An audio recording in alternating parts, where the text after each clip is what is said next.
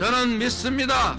사전투표 3월 9일에 투표 결코 특정 정치인의 권력욕이나 특정 정치 세력의 권력을 주기 위해서가 아니라 바로 여러분 자신을 위해서 사전 투표를 꺼리시는 분들도 많이 있습니다. 저희가 사전 투표 이틀과 본투표 당일 열심히 투표해야 승리하고 여러분 사전 투표하시나요? 어떤 대통령 후보에게 한 표를 주시겠습니까? 사표 없습니다. 심상정 찍어줘야 다당제가 될 거 아닙니까 여러분?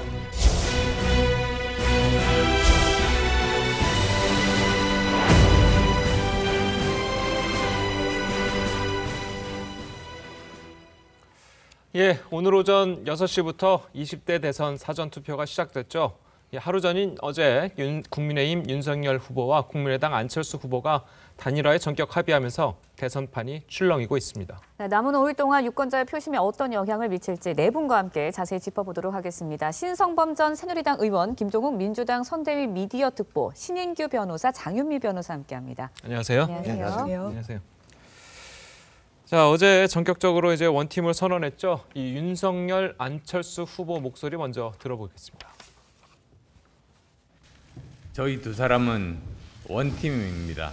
서로의 부족한 부분들은 메워주면서 반드시 정권 교체를 이루고 반드시 성공한 정권을 만들어내겠습니다.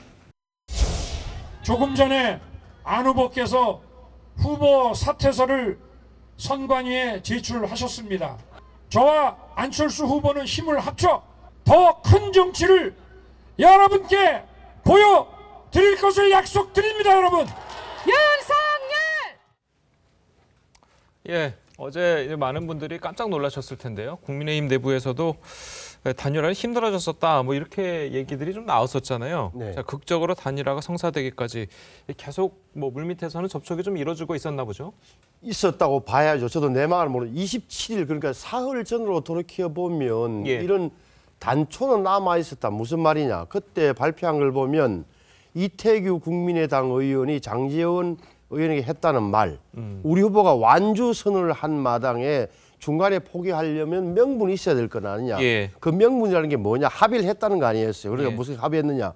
어, 윤석열 후보가 그동안에 소홀히 했다. 음. 그래서 안철수 후보에게 정식으로 사과한다는 기자회견까지 예. 27일 아침에 하기로 합의했다는 거예요. 근데 그 합의를 해놓고 나서 안철수 후보가 종합적으로 판단하는데 불충분하다고 해서 결별 통보를 했다는 거거든요. 최소한 중도 포기 그러니까 명분이 있으면 중도 포기할 것이라는 그 전제는 그 사실은 드러났던 거죠. 그다음에 제가 볼 때 27일부터 28일 1일 1 사이에 안철수 후보가 엄청난 압박을 받았을 겁니다. 사실은 뭐 정권 교체에 당신이 걸림돌이 될 거냐, 완전히 이 역사의 죄인이 될 것이냐 이런 압박도 받았을 테고 현실적으로 지지율이 저렇게 떨어지는데 올라가고 올라가기는 그냥 버티기가 힘들었다. 그래서 제가 볼 때는 안철수 후보 쪽에서 먼저 손을 내밀어서 가능성이 높다. 물론 기자들이 집요하게 물어봤잖아요. 어느 쪽이 먼저 네. 제안했습니까? 그러니까 안 윤석열 후보가 옆에 있다가 아 누가 먼저랄 것 없이 소통했습니다라고 예. 이렇게 안 후보를 그러니까요. 이거 지켜줬거든. 예. 그거 봐서는 이제 좀 그런 대목이 있다. 그래서 예. 현실의 벽에 안 후보가 어쩔 수 없는 선택을 할 수밖에 없었다고 봐요. 예, 자 현실의 벽 때문에 어쩔 수 없이 선택하셨다고 이제 분석을 하셨는데, 자 이 원래는 이제 안철수 후보 같은 경우에는 단일화 후보를 단일화하기 위한 조건으로 여론조사를 굉장히 강력하게 주장을 해오지 않았겠습니까? 그렇게 저번 한 번에 이제 협상 시한이 끝났다고 했을 때도 여론조사와 관련해서 이제 굉장히 그 생각을 드러냈었는데, 자 이번에는 이제 그런 것들이 없이 단일화를 전격적으로 발표했단 말이에요. 자 그런 마음을 결정적으로 바꾼 이유. 어떻게 좀 분석을 하십니까? 신성범 의원님 말씀처럼 지지율을 이길 정치인은 없다 이렇게 생각을 하는 지지율을 거고요. 이길 정치인이 그래서 없다. 뭐냐면 제가 볼 때는 윤석열 후보 같은 경우도 마찬가지입니다만 초박빙 구도에서 소위 단일화라고 하는 것들을 성사시키게 되면 예. 어. 뭐 국민의힘 입장에서는 아, 훨씬 더 좋은 조건이 될 수밖에 없는 상황인 거고요. 예, 근데 이제 안철수 후보 같은 경우는 소위 정치 본인이 스스로 정치적 홀로서기를 하기 위해서는 지지율과 세력이 필요한데 지지율은 떨어지고 있는 상황인 거고 세력은 붙지 않은 상황인 거죠. 전 그래서 어, 급했고 궁했다. 이 상황 자체가 어떤 형태로든지 단일화를 만들어내는데 이제 문제의 핵심은 뭐냐면 두 분은 그럴 수 있다고 생각이 드는데 유권자들의 입장에서 봤을 때는 그런 겁니다. 왜냐 지금까지 계속 완주를 하겠다는 의사를 밝혀왔었었고요. 그다음에 투표용지가 이미 인쇄가 된 상황이었고 마지막 삼차 토론까지 다 끝난 상황에서 어, 야심한 밤에 타결을 봤었기 때문에 유권자 입장에서는 이것이 어떤 대의 명분이 있는 거지에 대한 어, 기본적인 의심을 갈 수밖에 없는 네. 측면들이 분명히 있고요. 그래서 그런 측면에서 민주당에서는 이건 무슨 뭐 정권교체라는 대의라고 하는 측면들보다는 정치적 거래에 의한 합의 아니냐. 그래서 우리 야합이라고 판단한다는 생각이 드는 거여서 좀그 이유도 마찬가지, 그 이후에도 마찬가지입니다만 이 부분에 대한 정확한 설명은 없는 것 같아요. 그러니까 정권 교체를 위해서다라고 얘기하지만 왜 정권 교체를 위해서 그렇게 야밤에 합의를 하고 그 과정에서 나온 내용에 대해서 구체적 설명들을 하지 않고 있는 측면들이 분명히 있거든요. 좀 그런 측면에서는 어, 민주당이 제기하고 있는 정치적 야합 이 부분과 관련해서 어떻게 국민에게 설명할 것인가 한 6일 정도 남아 있으니까요. 예. 이 6일 정도 남아 있는 동안 부동층 같은 경우는 이 부분에 대해서 끊임없이 질문할 거라 생각이 들기 때문에 예. 이 질문에 대해서 어, 국민의힘 또 그다음에 국민의당 이 어떻게 설명할 수 있을 것인가가 좀 중요한 관건이라는 생각이 네. 듭니다. 네, 윤석열 후보가 이제 오늘 부산에서 사전 투표를 할 예정입니다. 안철수 후보가 지원 유세에 언제 나설지, 언제 합류하게 될지 관심이 좀 쏠리고 있거든요. 어떻습니까? 예, 지금 일단은 단일화라는 말이 이제 토- 통상적으로 사용이 되고 있는데요. 이제 그 실체를 보면은 이제 안철수 후보가 윤석열 후보를 지지 선언을 하고 예. 후보 사퇴를 한 것이 그 실질이라고 보시면 될 것 같고요. 어, 아무래도 이제 정권 교체를 향한 국민적 열망이라는 것이 거의 불길처럼 이제 일어나고 있기 때문에 안철수 후보가 꽤 오랜 시간 10년 넘게 제3지대와 그리고 중도 실용 노선의 정당을 어, 이어나가고자 하던 그런 열망들을 이제 접게 된 이제 그런 형국이 된 겁니다.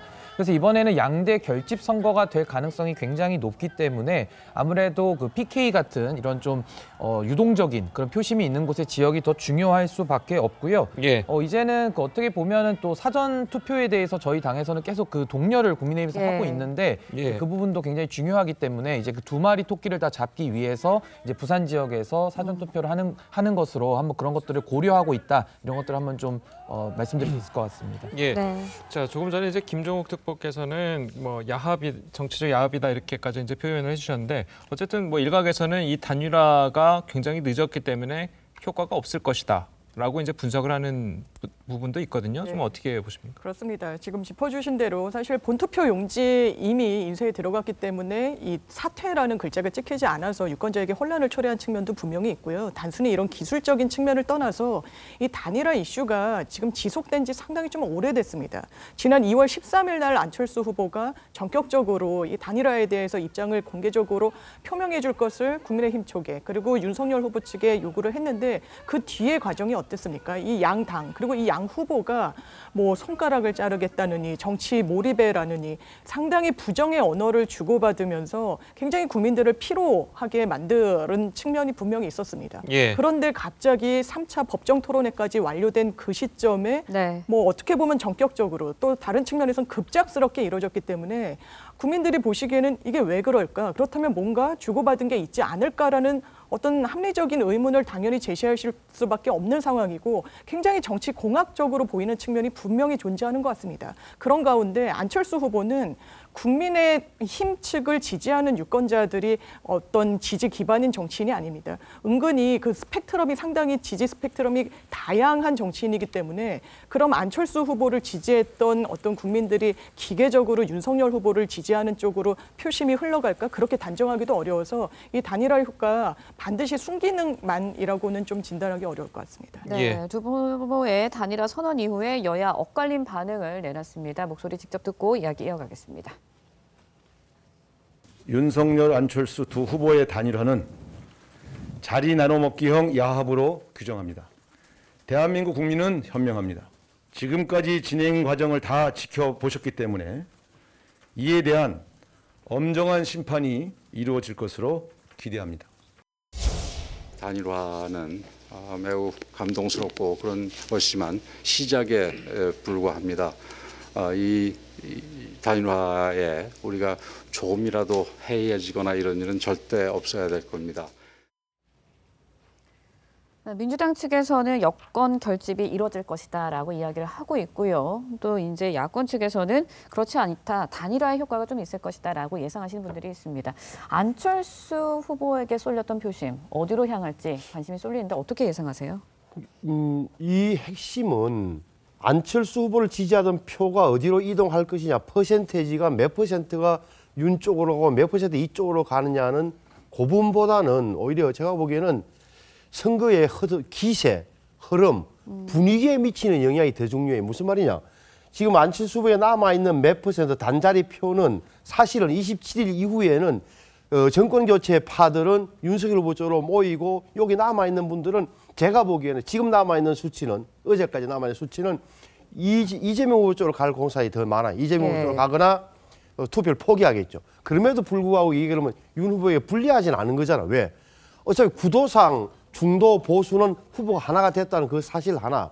그리고 부동층이나 일반 예. 그저 중도층이 보기에는 아하 둘이가 손을 잡았으니까 윤석열이 유리하겠구나 하는 그런 대세론적 느낌. 그래서는 흐름 분위기라고 어, 측면에서는 윤 후보에 분명 유리하고 이재명 후보에 불리한 거예요. 그렇다고 해서 그러면 뭐 완전히 뭐 선거가 끝났느냐? 그건 절대 아니라는 것도 한 분명한 예. 사실 아니에요. 그래서 저는 예. 그 윤석 어, 안철수 후, 어, 대표의 지지표가 어디로 가는지보다는 좀 더 흐름과 분위기에 미치는 영향이 더 크다라고 봅니다. 네, 예. 흐름과 분위기를 좀 봐야 된다고 말씀하셨는데 야권 아니 여권을 뭐 결집하는데 진보 진영 결집하는데 효과가 있을까요? 어떻게 보세요? 뭐 일단 안개 속으로 들어간 상황이기 때문에 뭐 여론조사를 공표할 수 없는 상황이어서 예. 정확히 알 수는 없습니다만 일단 과거 사례를 보게 되면 안철수 후보가 과거에 제일 많이 나왔을 때 15% 정도였었는데요. 이제 그것이 계속 줄어드는 상황이 있었는데 그 과정을 보게 되면 대체로 반분했던 것 같아요.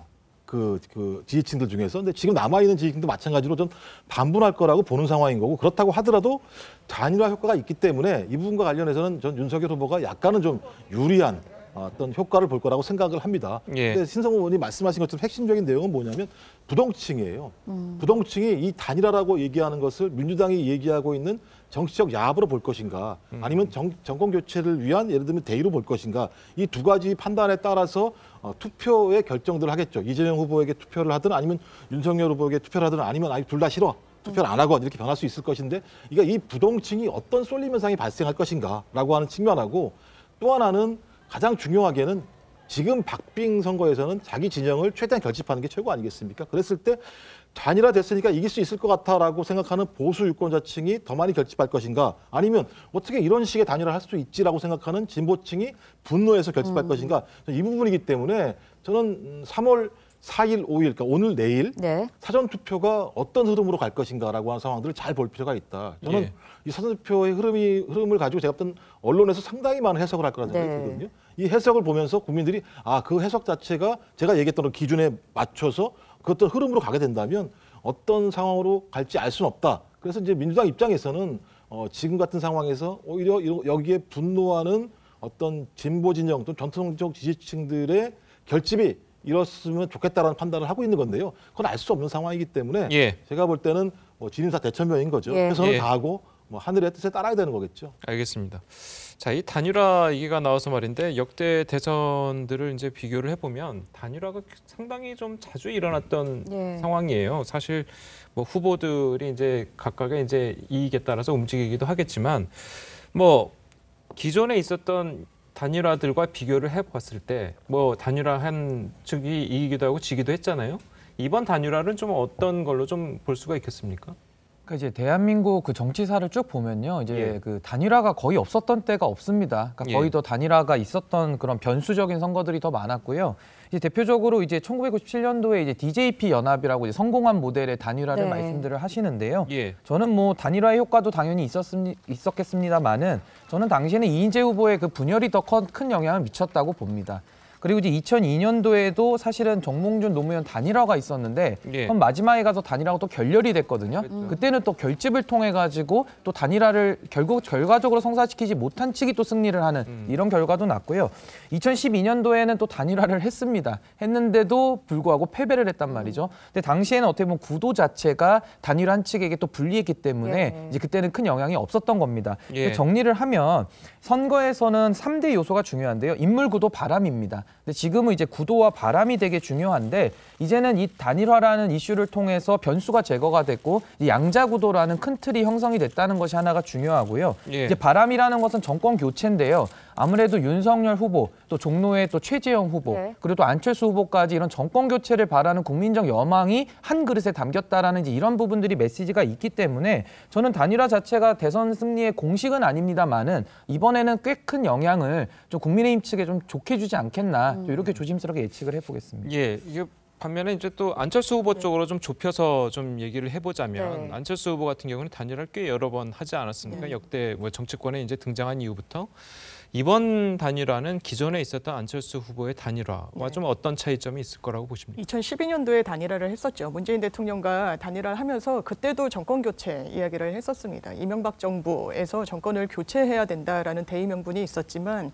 사실 큰 국민적인 감동을 주는 단일화로 평가받지 못하고 있고 그때도 정권 교체 여론이 상당히 좀 높은 편이었는데 정권 교체되지 않았습니다. 박근혜 전 대통령이 다시 어, 그 다시란 표현은 아니지만 예. 선임이 됐고 선출이 예. 돼서 사실 정권이 연장된 측면이 있었는데 저는 지금의 안철수 후보의 단일화는 그때랑 많이 겹치는 부분이 있는 것 같습니다. 음. 어, 어떤 정권 교체의 기치를 내걸었지만 어떤 국민적인 감동이 크지는 않은 상황. 이게 뭐 DJP 모델 아니냐라고 하지만 DJP 연합 당시에는 지역 구도를 좀 타파하기 위한 어떤 그런 부분도 있었고 본인을 탄압했던 반대 진영을 좀 손을 잡 는다는 상징성이 있어서 국민적인 울림이 있었던 연합이었습니다. 그리고 단일화였고 그런데 어떤 정치 공학적으로 선거에서 우세를 점하기 위한 이런 측면의 단일화는 국민들이 항상 좀 평가를 정확하게 하셨던 전력이 있어서 이번에도 그 지점 지켜봐야 될 것 같습니다. 네, 야권 후보 단일화가 성사가 되면서 제3지대에 있었던 안철수 후보 사퇴를 했습니다. 정의당 심상정 후보 자신에게 힘을 보태달라 호소를 했는데요. 목소리 직접 들어보시죠. 아마 안철수 후보를 지지했던 국민들 중에서도 어, 이제는 양당 제재 끝내야 한다 하는 강력한 어, 그런 의지를 가지신 유권자들이 많이 있으리라고 생각하는데 어, 이런 분들은 이제는 어, 저 심상정에게 어, 큰힘 보태 주시면 새로운 출발점을 만들 수 있다는 점을 호소드립니다. 네, 심상정 후보 계속해서 거대 양당 정치 폐해 이야기하고 비판하면서 그만 이제 해야 된다 그러면서 다당제를 계속해서 이야기를 해왔거든요. 안철수 후보에게 갔던 표심 심상정 후보에게도 흐를 수 있을까요? 뭐 심상정 후보께서는 그렇게 에, 되기를 바라시겠죠. 근데 상당히 이게 초박빙기 상황에서 매우 중요합니다. 보면 안철수 후보를 지지했던 분들 중에서 핵심이 뭐냐면 2030 여성표가 있습니다. 네. 이 2030 여성표가 심상정 후보에 갈 것인가 안 갈 것인가 상당히 중요하거든요. 민주당 같은 경우에 2030 여성은 전통적인 민주당을 지지했던 층 중에 하나였었습니다. 그랬을 때 앞으로 마찬가지입니다만 이 2030 지지층들이 심상정 후보 쪽으로 갈 것인가 아니면 그렇지 않고 어, 저희 이재명 후보 쪽으로 예. 올 것인가라는 부분들이 중요해서 그래서 이재명 후보 같은 경우도 2030 여성들에게 상당히 호소하고 있는 상황들이 있어서 예. 저는 이 부분 같은 경우는 어, 심상정 후보를 중심으로 볼 게 아니라 이번 선거의 가장 중요한 관건 중에 하나다. 2030 여성의 표심이 저희 앞으로 남아 있는 6일 동안 어디로 갈 것인가의 부분 자체가 저는 단일화 효과를 상쇄할 수 있을 만큼의 효과도 가져올 수 있다는 생각이 들기 때문에 저는 이 부분은 어, 소위 제3 후보라고 하는 심상정 후보로 초점을 맞춰서 바라볼 것이 아니라 이번 선거의 가장 중요한 관전 포인트로 봐야 된다고 생각을 합니다. 예. 예.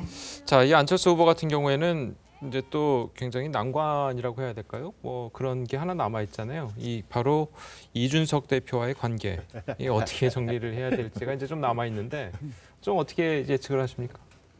어, 그러니까 이것은 사실 냉정히 말하면은 정확하게 말하면은 이거는 3월 9일 대통령 선거 이후 그리고 3월 9일과 6월 1일 사이에 벌어질 일이에요. 그러니까 예. 합당한다고 했지만 빠른 시일 내에 합당한다고 했지 어떤 절차를 거칠지에 대해서는 이 안철수, 윤석열 두 사람 모두 다 뭐 안을 갖고 있는 것 같지는 않아요. 예. 여기에는 뭐가 걸리느냐?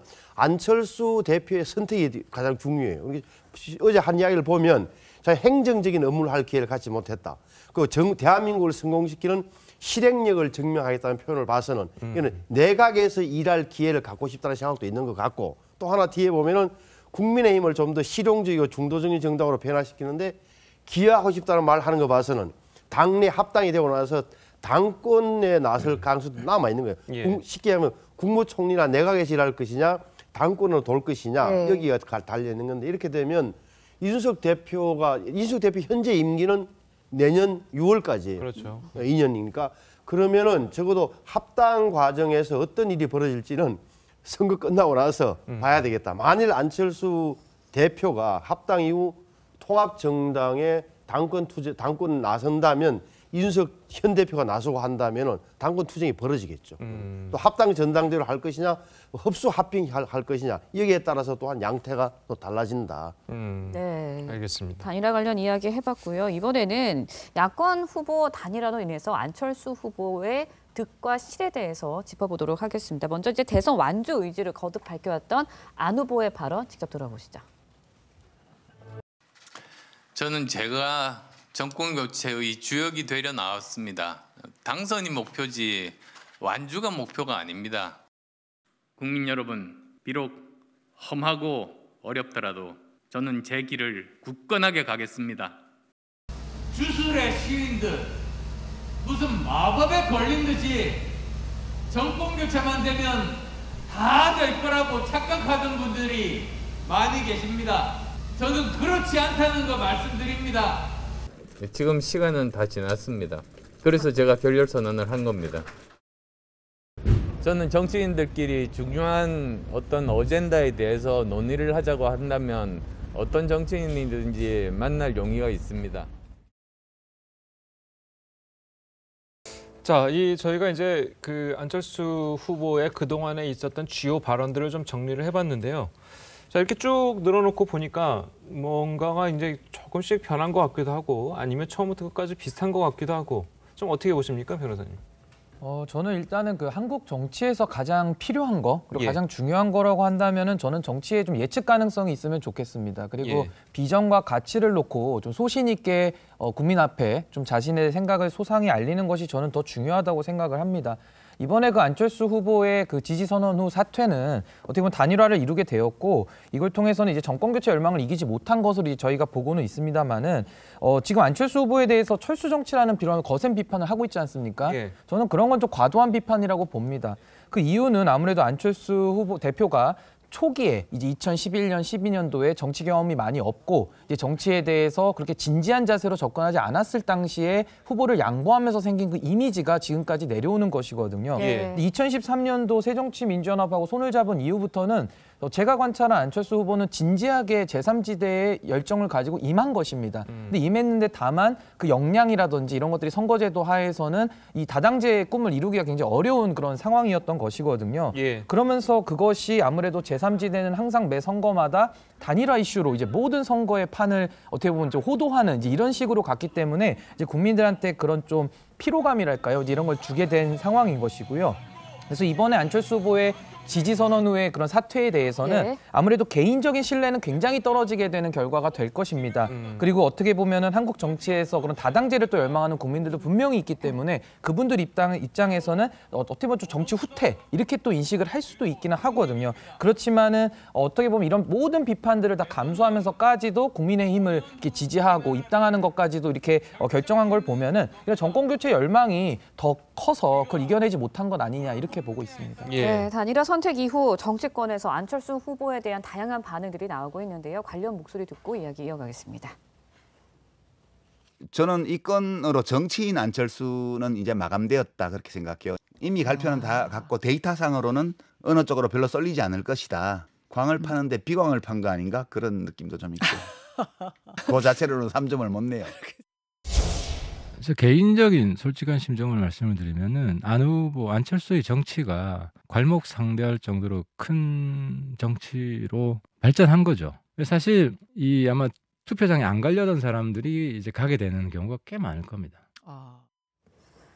네, 들으신 것처럼 정치인 안철수의 인생이 마감이 됐다. 안철수의 정치가 큰 정치로 발전할 수 있는 계기가 됐다. 어느 쪽으로 보세요? 사실 여야 뭐 정치적인 어떤 이해 득실에 따라서 평가를 달리하고 있는데 정말 안철수라는 개인 그 정치인을 두고 봤을 때 이 단일화가 과연 올바른 방향인지에 대해서는 상당히 좀 의문이 제기되는 측면이 있습니다. 예. 이를테면 왜 단일화를 받았을까? 뭔가 자리를 약속받았나? 총리인가? 경기지사인가? 얘기했을 때뭐 내각에 들어가기를 원하는 어떤 워징이 나오기도 했는데 이거 인사청문회를 거쳐야 됩니다. 이거 100% 관철되기가 어렵고 뭐 출마를 하더라도 이게 공천받는다고 그냥 승리가 장담되는 건 아니지 않습니까? 그렇다면 그 단일화 과정 중에서 국민의힘 측에서 못 만나면 깐다라는 파일명으로 저장도 시켜놨었는데 뭔가 완주하기 어려운 본인의 개인적인 제3의 이유가 있는 건 아닐까라는 의혹도 한켠에서는 제기가 될 수가 있고 예. 이준석 대표가 이야기했던 것처럼 선거 비용이 혹시 문제인가 예. 이런 의혹이 뭐 충분히 제기될 수 있습니다.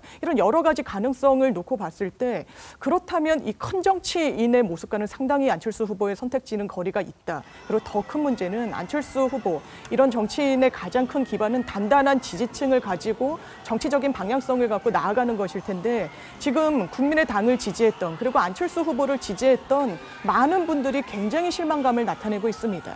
완주를 넘어서 승리를 하겠다고 해서 표심을 주고 지지를 했던 정치인이 완전히 급작스럽게 철회함에 따라서 안철수 후보는 이런 본인을 향한 지지층을 완전히 이번 단일화로 인해서 좀 놓치게 된 측면이 분명히 있어 보입니다. 예. 네, 안철수 후보의 향후 행보에 관심이 쏠리고 있는데요. 입각 혹은 당권을 잡게 되는 것 아니냐 여론 이야기들이 나오고 있습니다. 관련 목소리 직접 들어보시죠.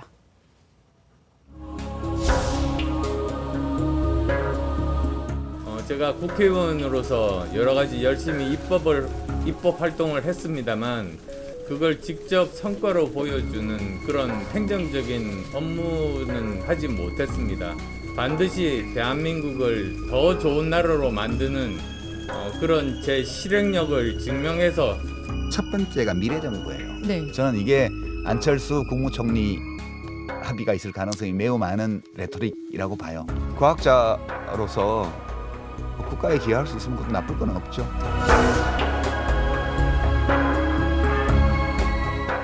제가 꼭 하고 싶은 일 중에 하나는 어, 지금 현재 국민의 힘을 보다 더 실용적인 정당, 중도적인 정당으로 변화시키는 것입니다.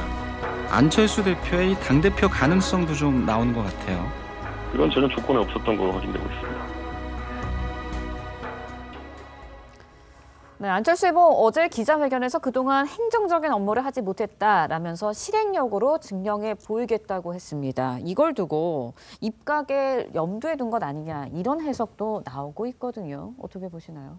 그리고 말씀드린 대로 내각 참여 또는 당권의 분담 이런 것에 대해서는 어느 정도 뭐 암묵적인 합의가 있어야 되고 바는 거고요. 제가 예. 어제 유심히 보니까 그럼 어떨 할 거냐에 대해서 윤석열 후보와 안철수 후보 간에 뭔가 합의는 없었던 것 같아서 국무총리 이야기가 나왔다는 거 왜요? 두 사람의 성격을 봐도 그래요. 안철수 후보 입장에서는 자존심이 얼마나 센 사람인데 국무총리 아이고 뭐 이렇게 될 리도 없고 약속했을 리가 없어요. 제가 볼 예. 때 암묵적으로 뭔가 당신과 나는 파트너다 국정에 적어도 이 정도가 합의한 사항이다. 물론 이철 어, 이태규 의원하고 저, 저, 장재원 의원 사이에서는 적어도 네. 명, 뭐 문, 문, 문서는 아니지만 뭐 암시적으로 그래 있을지 뭐 가능성이 있어. 그래서 하더라도 그래서 문서를 만들려면 양 후보 측에 사인이 있어야 되고 옛날에 내각제 음, 파동처럼 그러니까요. 뭔가 비밀 문서가 있어야 되는데 두 사람의 성격상 그랬을 가능성이 없다고 하는 저- 저는 좀 자신 있게 말씀드리고 싶고 또 하나는 앞서서, 앞서서 안철수 후보의 선택에 대해서 여러 말이 있습니다만 제가 보기에는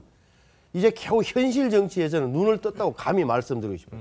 안철수 후보의 가장 큰 문제점이 제가 볼 때는 도덕주의적 정치였어요. 명분에 집착한. 다시 말하면 내 큰 뜻을 왜 당신들은 몰라주느냐는 여기 크게 하면서 계속 삼지대를 이야기했지만 우리나라 시- 현실에서 삼지대가 얼마나 포말입니까? 포말. 거품 같다.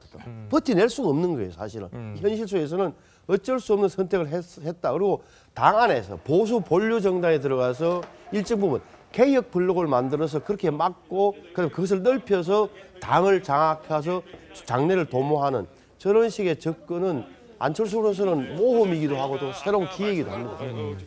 오늘 아침에 이제 조간을 보니까 이 안철수 후보와 이제 윤석열 예. 후보의 이제 뭐. 그, 그 협상 네. 과정에서 나왔던 얘기들이 좀 나왔거든요. 그 부분을 보면 안철수 후보가 그동안 이제 단일화 그동안에 있었던 단일화 과정에서 나왔던 뭐 협상문이라든지 뭐, 뭐 단일화 뭐 예. 선언문이라든지 이런 것에서 안 지켜진 경우가 굉장히 많았다. 그래서 뭐, 뭐 이런 서류들이 뭐가 필요하냐 이런 얘기들이 좀 나왔다고는 하는데 그동안에 있었던 단일화에서 굉장히 배신감을 느꼈었던 것도 사실인 것 같아요. 안철수 대표 같은 경우에는. 네, 그랬겠죠. 뭐 본인이 얘기했던 상황만큼 된 것이 아무것도 없었기 때문에 이것도 예. 마찬가지입니다만 아마 단일화 관련해서 확실한 확약을 받고 싶었던 생각이 분명히 있었을 것 같습니다. 예. 근데 이제 그것은 아직 드러나지 않았기 때문에 저희가 무엇이 있다 없다 얘기할 수 없는 거고 그래서 뭐 다른 분들은 이면 합의가 있는 거 아니냐 아니냐 이런 얘기가 분명히 있는 건데요. 예. 저는 뭐 그걸 떠나서 가장 중요한 문제는 뭐냐면 저는 본인의 가치를 상실했다는 생각이 많이 드는 거예요. 이번 네. 어. 그리고 제가 볼 때 모순 정치인이에요. 그러니까 모든 것을 뚫을 수 있는 창을 가지고 있고 모든 것을 막을 수 있는 방패를 가지고 있다고 지금 말씀하시는 거랑 마찬가지라는 생각이 드는 게 뭐냐면 본인이 말씀하신 게 윤 후보 찍으면 1년 안에 손가락을 자를 것이다라고 말씀하셨고 유세차에서 돌아가신 동, 동지의 유지를 받들어 끝까지 완주하겠다고 말씀하셨죠. 이건 제가 볼 때는 그냥 본인 스스로 약속한 게 아니라 국민한테 약속한 내용들이 분명히 있습니다. 또 하나는 기득권 양당 정치 체제를 깨는 게 나의 정치적 정치 신념이었다라고 얘기했는데 그런 얘기를 하고 난 다음에 기득권 양당 중에 하나인 국민의힘으로 들어가겠다고 합방을 얘기했어요. 또 하나는 TV 토론 과정에서 소위 가치 단일화를 어, 합의했던 윤석열 후보의 경제 정책에 대해서 고개를 절레절레 했던 분이에요. 전 이것을 이렇게 했던 분이 단일화를 하는 이유가 무엇일까에 대해서 국민들은 상당히 의구심을 갈 수밖에 없어요. 그런데 제가 볼 때는 설명은 없어요. 그렇다면 뭐 그 이전까지의 정권 교체와 그다음에 단일화 이후의 정권 교체는 다른 정권 교체겠습니까? 그렇지 예. 않다라고 얘기한다면 이 부분에 대해서 충실히 안철수 후보는 설명할 필요가 있다는 생각이 들어요. 저는 예. 이 설명이 안 되면 제가 볼 때 미래 정치는 없다라고 생각이 들기 때문에 예. 저는 이 큰 고비가 있을 거라 생각이 드는 거고요. 그래서 아, 대선에서 뭐 이재명 후보가 승리하면 물거품이 되겠습니다만 만약 예. 윤석열 후보가 승리한다고 하더라도 안철수 후보의 미래가 그렇게 예를 들면 순탄하지만은 않을 거라 생각이 듭니다. 예. 자, 이 야권에서는 뭐 계속해서 예. 비판이 나오고 있죠. 한번 들어보시고 이야기 나눠보도록 하겠습니다. 윤석열 안철수 후보 단일화를 보니까 확실히 이제 결집이 돼서 이기겠다는 생각이 드는데 여러분 동의하십니까? 정말 손가락 자른 일이 없기를 바라겠습니다. 정치적 선택에는 명암이 있는 건데요. 대표적으로 2002년에 정몽준 후보가 단일화 를 철회했을 때 네. 많은 사람들이 아 노무현 후보에게 부정적일 것이다라고 했는데 오히려 지지층의 결집 또는 중도층의 변화를 이끌어냈던 적이 있거든요. 단일화에 대해서 국민적 동의를 만약에 못 얻는다면 네. 우리 심각한 역풍이 불 수가 있죠.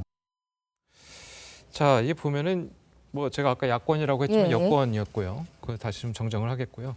자, 여권 지지층의 이제 결집을 기대를 하면서 24대 4시간 예. 비상 대응 체제로 전환하는 등 이제 총력 대응을 예고를 하는 게 나왔잖아요. 자, 변호사님 보시기에 자, 갑작스럽게 벌어진 상황. 자, 민주당 내부에서도 굉장히 당혹스럽다.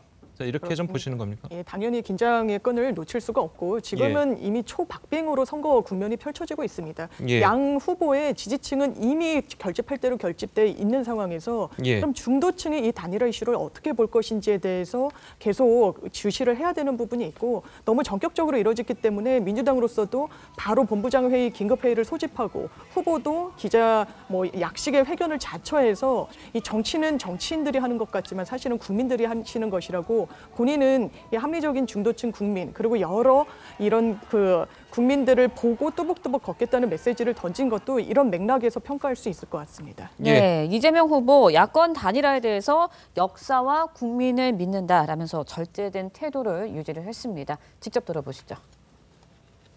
정치는 정치인들이 하는 것 같지만 사실은 국민이 하는 것입니다.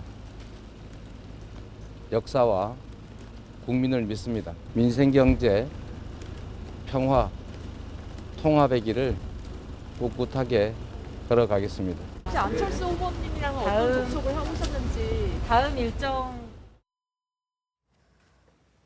네, 일단은 이재명 후보 이제 야권 단일화에 대해서 직접적인 비판을 삼가하는 모습을 좀 보이면서 오늘 강원도 속초에서 진행할 예정이었던 사전 투표를 서울 광화문 지역으로 옮겼거든요. 어떤 의미가 있다고 보시나요? 예, 근데 뭐 지금 뭐 야권에 대한 이 단일화의 이슈를 이제 굉장히 여권 측에서 민감하게 지금 받아들이고 있는 건 맞는 것 같습니다. 아무래도 이제 양대 결집 선거가 되다 보면 구도적으로는 민주당이 확실히 불리해지는 거는 사실이거든요. 근데 이제 참 여기서 중요한 건 뭐냐면은 이재명 후보가 가장 먼저 통합 정보론을 좀 띄웠던 분입니다. 그럼 예. 안철수 후보에 대해서 러브콜을 누구보다 적극적으로 보냈던 분이기 때문에 이제 와서 그 국민의힘과 국민의당의 단일화가 이루어지고 나서 또 태도, 태도를 바꾸는 것은 상당히 내로남불적인 요소가 있다는 이제 그런 평가를 피하기는 어려울 것 같고요.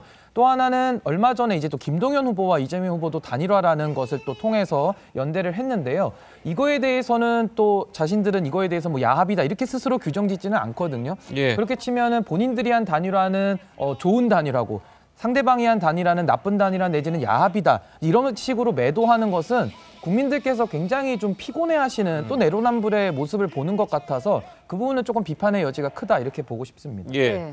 자, 이거 말씀하신 것처럼 그 민주당에서는 뭐 그동안은 이제 뭐 통합 정부다, 뭐 공동 정부다 이런 식으로 안철수 후보나 어뭐 이렇게 예. 그 손해를 내밀었었잖아요. 그 유화의 손짓을 제스처를 내밀었었는데 자 이번에는 뭐 당군 이래의 최대의 거, 거짓말쟁이다. 예. 또 이런 또 얘기가 좀 나오고 있어요. 이런 것 때문에 좀 뭐 굉장히 좀 피곤하다 이렇게 지적하시는 분들도 계신데 어떻게 얘기하시겠습니까? 일단 뭐 당군 일의 최대 거짓말이라고 하는 부분들은 당의 공식 입장이 아니기 때문에 그렇게 예. 비판하시는 분들도 계시다는 생각이 분명히 듭니다. 예. 그런데 이제 전 내로남불을 말씀하시지는 않았으면 좋겠다 국민의힘에서 왜냐하면 안철수 후보가 하신 말씀이 있기 때문에 말씀을 드리는 거예요. 뭐 다른 예. 뜻은 아니고요.